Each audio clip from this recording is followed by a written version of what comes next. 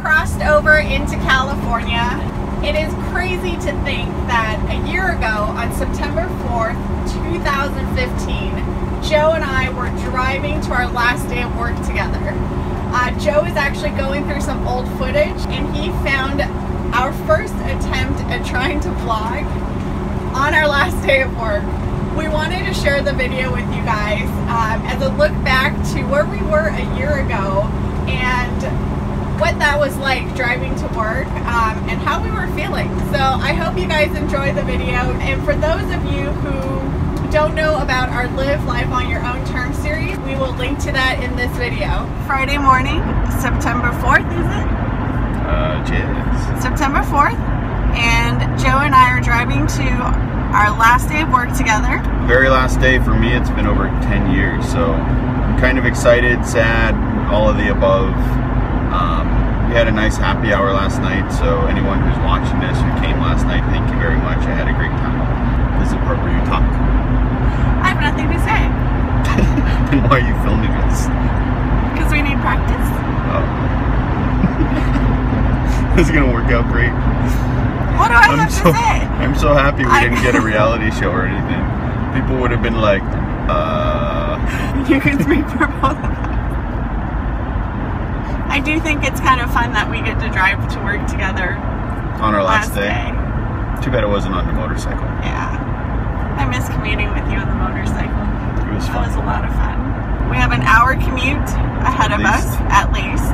And then drop Joe off, then I get to drive another 45 minutes to my job. it should be a fun morning. Do you have a cup of coffee every morning on your drive to work? Yes. What happens if you forget?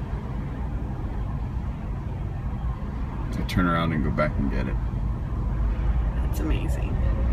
So, this dent, I left the coffee on the back of the Jeep one morning and I drove over it. It survived. That's a pretty epic thing to have happen to your favorite coffee tumbler. I know. I was freaked out that I lost my coffee, but it was still in there. More importantly, you needed the coffee to stay in. The coffee survived. What has your typical morning commute been like for the last 10 years? Most of the time I was riding my motorcycle. So like this guy.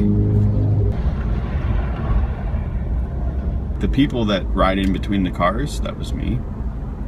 I would get to work in about mm, 35 minutes, 35, 40 minutes, depending on how fast I rode. And that was nice. And my back started giving me problems, so I had to, last couple years I've been driving.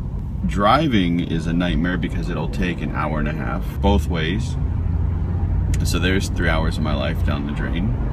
Um, and in order to stay sane, I have my coffee and I also have podcasting. And that's pretty much what keeps me sane going back and forth to work every day. Three hours in the car. So you're really gonna miss this. No.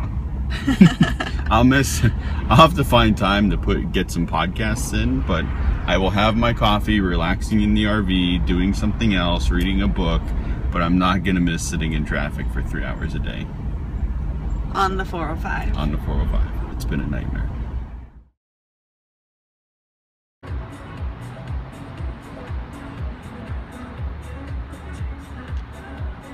From that first attempt, it took us four months to produce our first vlog for this YouTube channel. Hope you enjoyed the video and hopefully we've come a long way since then. Thank you guys so much for watching. As we come up to our one year anniversary of being on the road, uh, we left September 13th, 2015. We will be sharing a lot of videos with you guys about our first year on the road. So stay tuned for those. Thanks for watching. See you next time.